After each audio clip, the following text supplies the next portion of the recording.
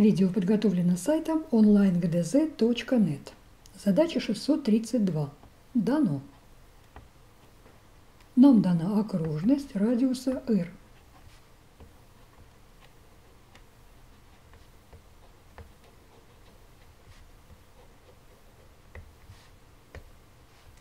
И дана точка А, причем так, что расстояние ОА от точки до центра окружности меньше радиуса окружности.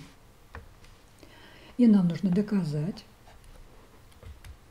что любая прямая, проходящая через точку А, то есть мы запишем это так, если точка А находится на прямой P, то эта прямая P является секущей для окружности.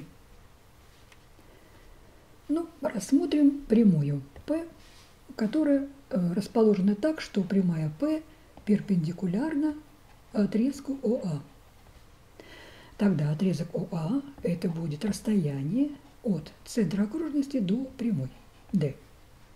И поскольку ОА меньше радиуса по условию, то тогда и D тоже меньше радиуса.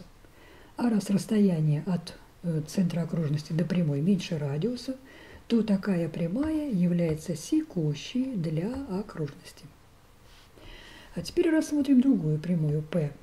Так что она проходит через точку А, но прямая P не перпендикулярна отрезку ОА.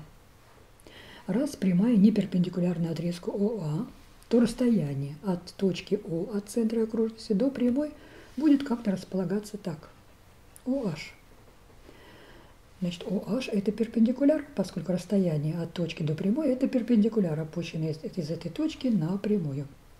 А тогда мы имеем треугольник HAO, и этот треугольник прямоугольный, поскольку в нем угол H прямой. Тогда в этом прямоугольном треугольнике OH это катет, а ОА это гипотенуза. А поскольку любой катет меньше гипотенузы в прямоугольном треугольнике, то значит OH меньше ОА. А поскольку ОА по условию меньше R, то значит и OH меньше r. А OH – это расстояние от центра окружности до прямой.